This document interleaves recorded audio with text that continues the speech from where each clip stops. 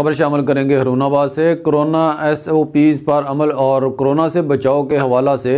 हुकूमत की जानब से जारी होने वाले एस ओ पीज़ पर अमल दरामद के हवाला से म्यूनसिपल कमेटी के जना हाल में अजलास मनकद किया गया। मज़ीद तफसीत देखते हैं अरशद अली गौरी की इस रिपोर्ट में।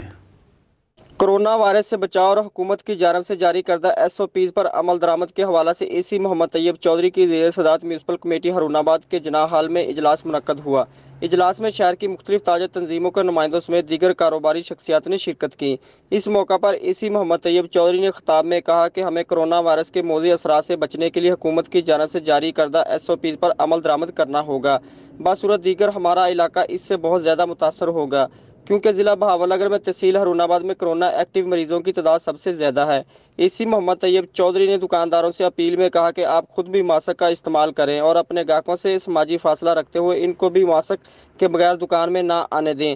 ताजर नुमाइंदों ने इजलास में खिताब से कहा कि हम हुकूमती अहकाम पर अमल दरामद करते हुए अपना कारोबार करेंगे और आइंदा भी आने वाले हुकूमत के अहकाम पर लबैक कहेंगे। कैमरा टीम के साथ अरशद अली गौरी हारूनाबाद